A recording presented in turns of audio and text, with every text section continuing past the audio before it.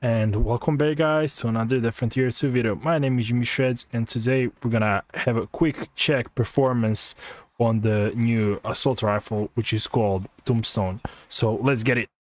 So this is just a quick performance check so you can see how the weapon performs against the bosses. Full review or build will come tomorrow. Uh, I'm just gonna show you the skills alright so you can see what I have alright very fast. You can pause here. So we're using this helmet hands, armor, legs, feet. This is our assault rifle and our sight. Now I'm gonna go sh uh, show you how it performs against the bosses. Have in mind it could have been done much better, but it's quite late uh, and I'm quite quite sleepy. I'm working tomorrow, so yeah, let's show you the performance.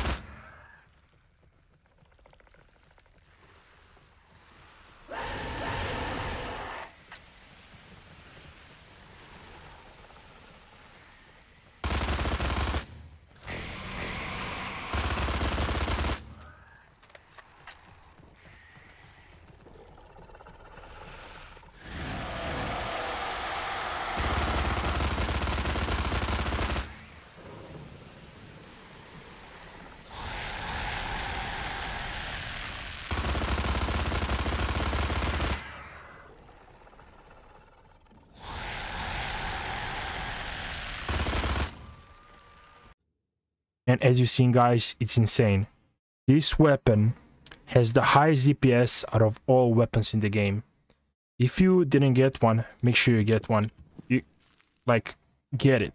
Like craft it guys. Make sure you use use a uh, good use make sure you make a good use of this event guys. This is the weapon with the highest DPS in the game. You can get over 2.3k DPS. Also have in mind, I do not have any upgrades on this weapon, so we can be much more accurate, much more powerful as well. Have in mind, also, this is not min-maxed uh, co uh, completely. There is more items that can make this weapon much more powerful.